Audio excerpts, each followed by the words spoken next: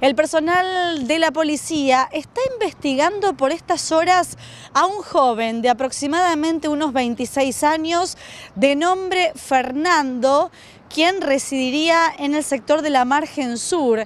Esta persona está acusada de prometer pasajes a muy bajo costo que finalmente no terminaba entregando.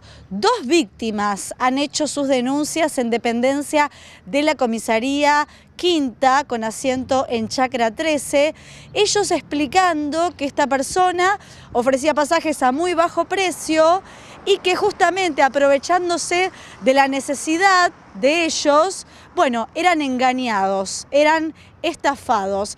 Se cree que serían más los casos. Por ahora hay dos denuncias con algunos datos llamativos, como ser que este joven sería hijo de un eh, comisario retirado de la policía. Lo cierto es que una de las víctimas es una enfermera que trabaja en el Centro Médico Los Álamos, adujo que tenía que viajar a la provincia de Santa Fe de manera urgente, alguien le hace el comentario de que esta persona ofrecía pasajes a unos 3 mil pesos y termina comprándolos y después, por supuesto, nunca eh, obteniendo el pasaje requerido. Una investigación que ya llegó a la justicia y que se espera en las próximas horas nuevas dirigencias.